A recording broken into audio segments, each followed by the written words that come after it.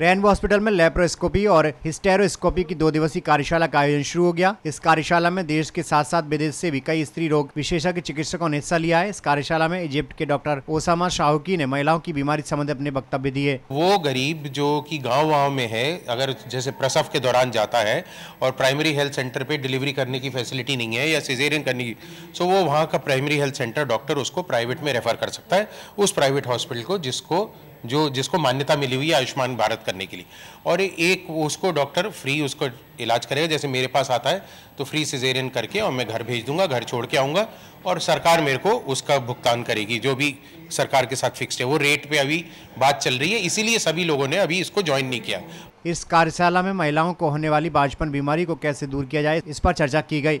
आज ये जो सेमिनार हो रहा है, ये basically seminar plus live surgeries का डिमॉन्स्ट्रेशन है, जिसमें कि हिस्ट्रोस्कोपी और लैप्रोस्कोपिक सर्जरी स्पेशली जो बच्चेदानी की झिल्ली के अंदर खराबियाँ होती हैं, जिनकी वजह से ज़्यादातर, क्योंकि हमारे देश के अंदर ट्यूबोकोलोसिस बहुत होता है इन्फेक्शन बहुत होते हैं तो उससे कई बार झिल्ली जो है चिपक जाती है या बच्चेदानी के अंदर बनावटी खराबियाँ होती हैं तो उनको ठीक करना और दूरबीन के द्वारा कैसे उसको ठीक किया जा सकता है।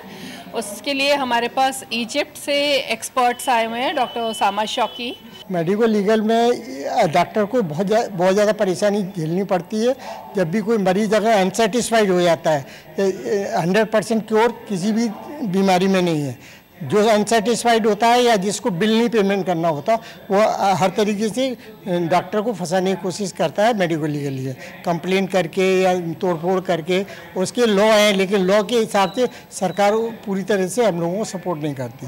डॉक्टर ओसामा के मुताबिक हिस्टेरोस्कोपी यानी दूरबीन विधि से गर्भाशय की बीमारियों को बारीकी से जाँच पड़ताल की जा सकती है। इसके अलावा गर्भाशय की ट्यूब में किसी प्रकार की रुकावट, ट्यूमर का आसानी से पता लगाया जा सकता है। ये प्रक्रिया पूरी दूरबीन विधि से होती है। Vinod junior, C News, Agra.